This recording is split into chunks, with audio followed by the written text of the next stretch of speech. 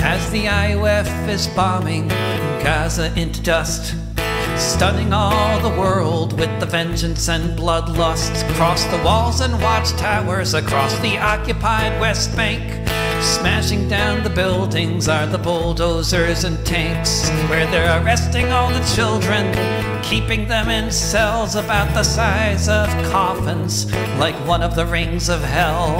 While settlers from Tel Aviv, Europe, and America carry out the pogroms of Judea and Samaria. They're releasing a few prisoners as they take some more. The difference is semantic as they're breaking down your door.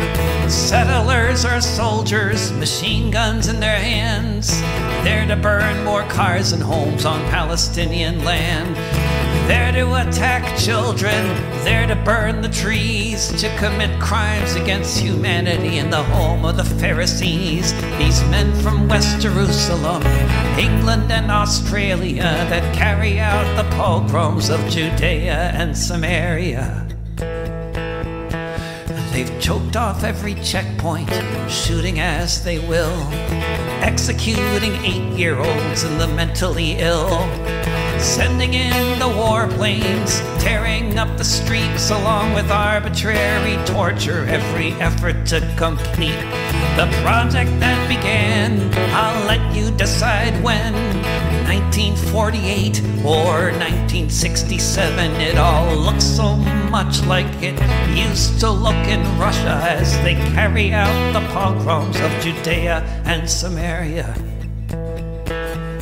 In the future, when they gaze upon the remnants, what's left of the people they might call the former tenants, the grandchildren of the pogromists might like to know where did all the Palestinians go? They'll be too late to change the horrors here unfolding or the future that the present here is molding. As it was when they colonized Namibia or Kenya as they carry out the pogroms of Judea and Samaria. As they carry out the pogroms of Judea and Samaria as they carry out the pogroms of Judea and Samaria.